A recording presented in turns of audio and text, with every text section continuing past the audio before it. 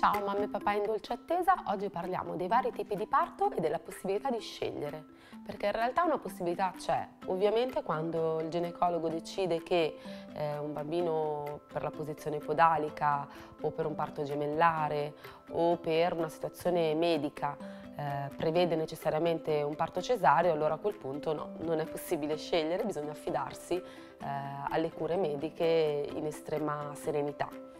ma qualora si parla di un parto fisiologico naturale normale ci sono varie possibilità di scelta. La prima possibilità è quella del parto eh, fisiologico non medicalizzato, quindi la donna chiede che il tutto venga vissuto in maniera più naturale possibile, senza grandi interventi da parte dello, del, ehm, del personale medico. Poi c'è la possibilità invece di eh, essere supportati con l'epidurale per la gestione del dolore. L'epidurale è proprio una tecnica che prevede attraverso l'infusione di analgesici eh, la possibilità di non sentire il dolore dalle prime fasi del travaglio fino alla fase espulsiva, ma questo non comporta assolutamente nessun tipo di limitazione dal punto di vista sia dei movimenti perché la donna può camminare, comunque la, ha comunque ancora la sensibilità delle gambe e è soltanto legata a una flebo con eh, appunto un ago per l'infusione del, dell'analgesico appunto.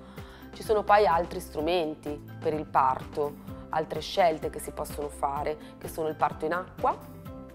è un parto ovviamente che viene vissuto con, eh, in un'atmosfera un po' magica perché il rapporto con l'acqua spesso porta la donna ad avere una situazione più di calma e, e il bambino soprattutto passa da una situazione eh, all'interno della placenta e quindi del liquido amniotico della mamma da una situazione di acquaticità intrauterina a quello comunque dell'acqua della vasca dove la mamma partorirà e quindi sicuramente è un passaggio un po' più dolce anche per il feto, il neonato.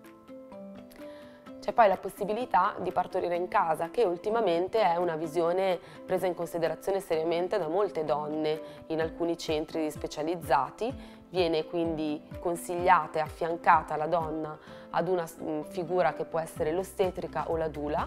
che sono queste figure che accompagnano proprio la donna e il compagno eh, quindi la coppia genitoriale, in tutte le fasi del travaglio all'interno di un ambiente più casalingo, che può essere la casa stessa della coppia oppure una struttura molto simile ad una casa, quindi con una cameretta, un letto, un bagno, quindi non assolutamente lontana da una struttura ospedaliera.